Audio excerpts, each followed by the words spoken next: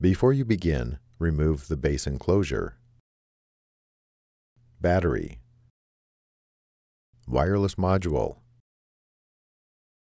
Solid-state drive Hard disk drive assembly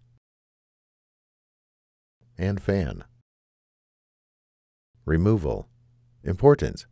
Make careful note of the routing of all cables connected to the system board for later replacement. Using minimal force, lift the locking bar up on the touchpad board ZIF connector and disconnect the touchpad board ribbon cable from the system board.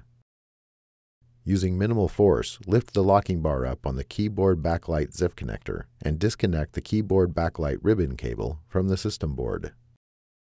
Using minimal force, lift the locking bar up on the keyboard ZIF connector and disconnect the keyboard ribbon cable from the system board.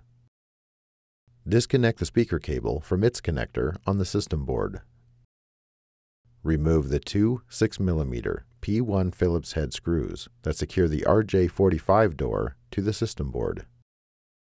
Lift the RJ45 door off of the system board and remove. Remove the power connector bracket from the power connector. Separate the power connector from the adhesive that secures it to the top cover and set aside. Remove the foam pad that covers the LEDs on the left side of the system board.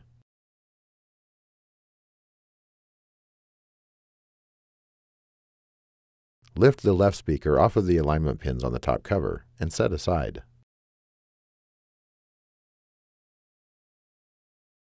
Remove the eight 3mm P1 Phillips head screws that secure the system board to the top cover.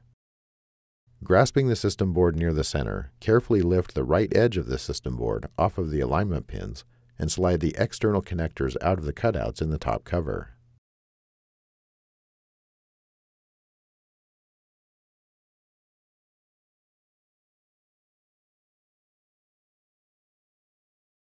Remove the system board.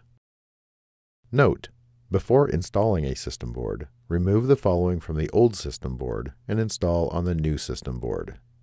Memory boards, heatsink, power connector cable. Reverse this procedure to install the system board. Important! After system board replacement, be sure to complete post-installation tasks as required that may include verifying functionality of the notebook, updating the BIOS, updating DMI, and other settings.